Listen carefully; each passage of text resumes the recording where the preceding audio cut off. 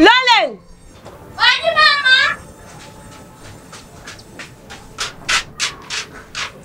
Lalan, what's wrong with you? What are you doing there?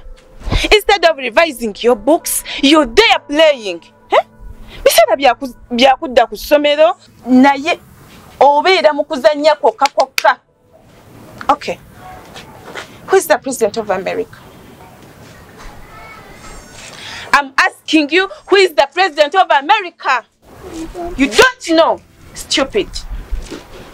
Don't you know that it's Donald Trump? I know. I know. Idiot. Next time, concentrate on your books. See there. But mom, who is Aunt Joan? Auntie Joan? I don't know. I wish I can slap you too. Joan is my daddy's girlfriend. Next time, concentrate on your marriage and leave America's matters alone.